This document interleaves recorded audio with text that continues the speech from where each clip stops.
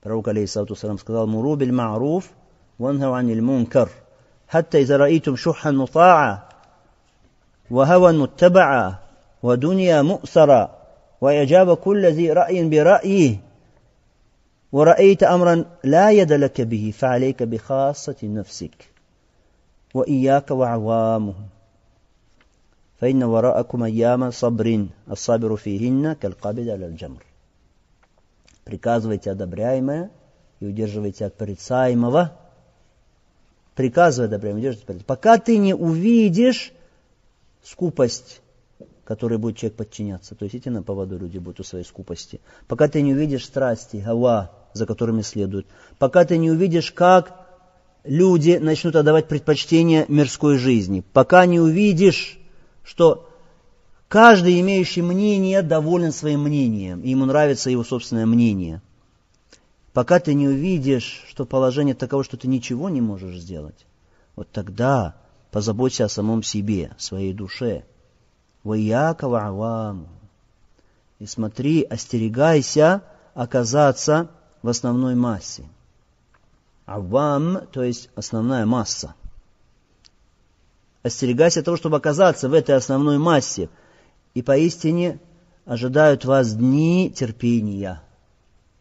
Тот, кто проявляет терпение в эти дни, будет подобен тому, кто держится за горящий уголек.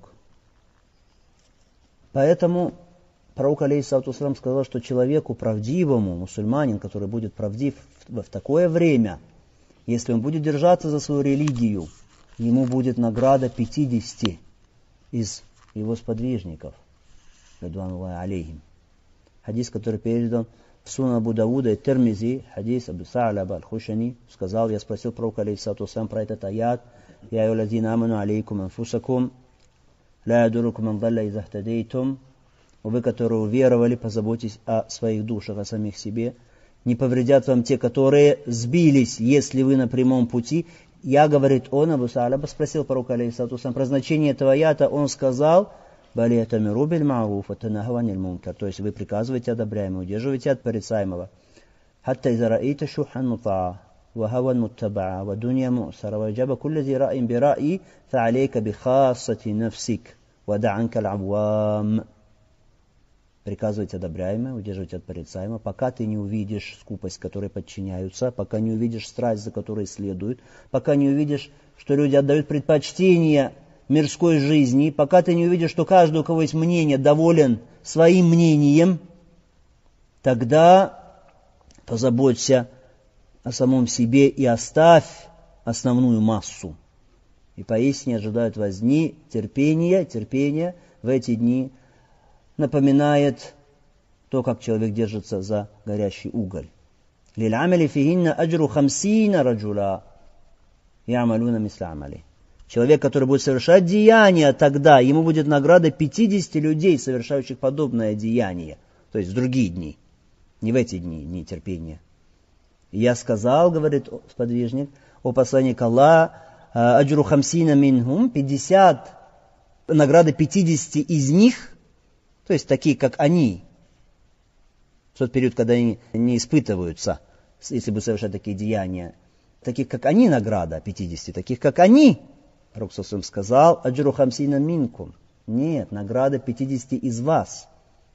То есть из подвижников Мухаммада, саллаху алейhi Такая великая награда. Почему? Из-за чуждости этих людей, которые будут держаться за сунну пророка, алейхиссалату в то время – не будет держаться за сунну среди этих мраков, мраков страстей и приверженности людей собственным мнениям. Этот хадис для многих непонятен, он, его значение. Я слышу, как некоторые говорят, вот это указывает на превосходство людей, которые живут сейчас, на сподвижниками и так далее. Алиязупиля. Нет, не это смысл хадиса.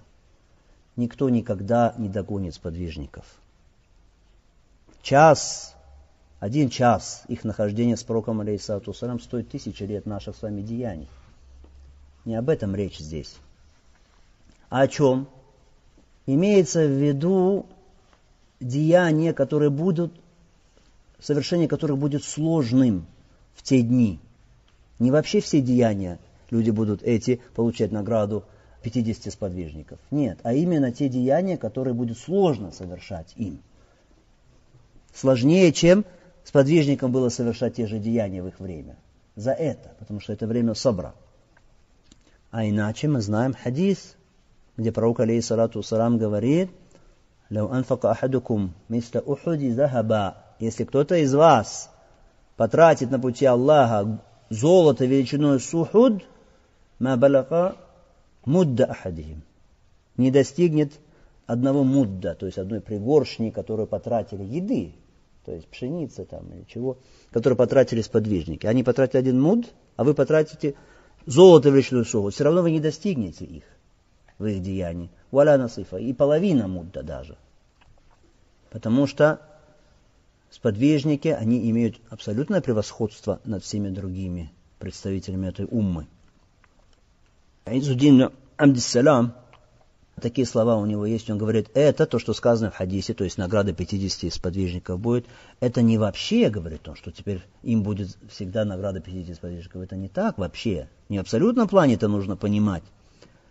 Понимание этого хадиса, говорит, он строится на двух правилах важных, смотрите, на двух важных правилах. Первое правило, что деяния становятся более достойными в зависимости от плодов. То есть достоинство деяний зависит от плодов этих деяний.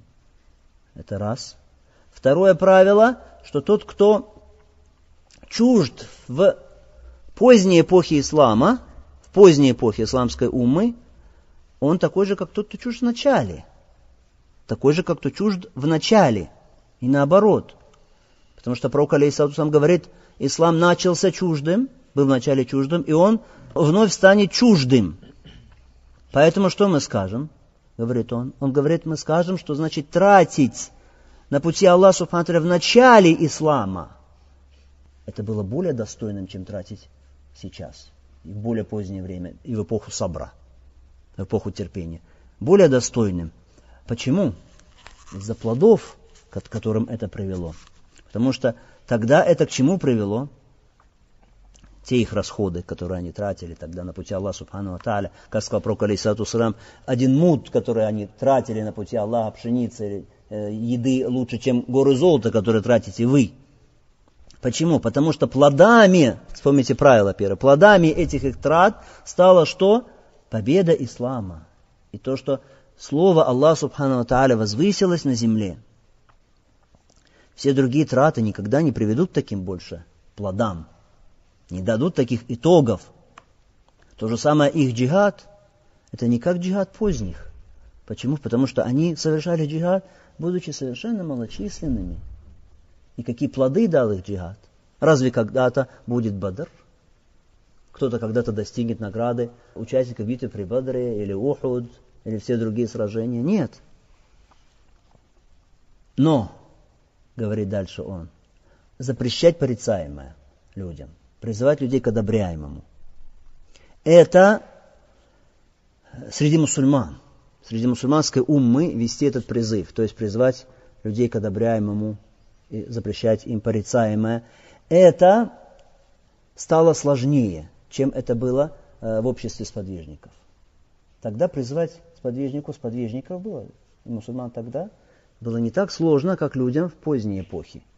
Призвать к одобряемому держать порицаемого. Имеется в виду где? Среди мусульман. Среди мусульман. Исповедовать сунну пророка, алейхиссалату вассалам, сложнее когда? Среди сподвижников сподвижников нет. Людям более позднее время. Сложнее. И нет тех, кто помогает, мало тех, кто помогает. И, и мункара стало много. Порицаемого стало много, не как тогда. И поэтому пророк, алейсату салам, и сказал, что тогда держаться за сунну, исповедать религию будет так же сложно, как держаться за горящий уголек. Сравнил с этим пророк, алейсату салам. Еще сохранение религии. Сохранять религию свою и праведность свою сложнее когда? Поздней эпохе, не, не в обществе сподвижников. Что касается сподвижников первых поколений, то и не так. Было те, кто помогал призывать, когда время держит порицаемо, и не было столько мункара – в этих делах, которые сложнее сейчас совершать, в этих делах, да, награда, она что? Такая, как награда 50 сподвижников. Но, еще раз говорю, не в абсолютном плане, только в таких делах, которые сложнее совершать. Хорошо? Вот эти вот аспекты нужно учитывать. Когда ислам был чуждый тогда, во-первых, это, это такая же чуждость, как сейчас. Но еще плюс что? Плоды. Плоды это не те плоды, которые сейчас. Поэтому, конечно, их деяния, они превосходят наши деяния, по награде превосходят. Речь идет только о таких деяниях, которые им было совершать, что легче, чем людям, которые живут в поздней эпохе ислама.